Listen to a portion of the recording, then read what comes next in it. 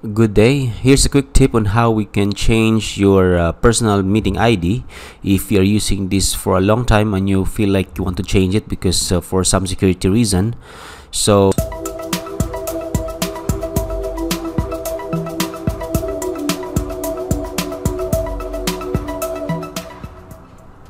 So you need to open your Zoom into your browser.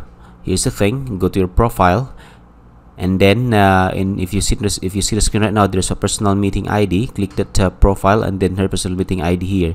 Click the show, and this is the number that I have.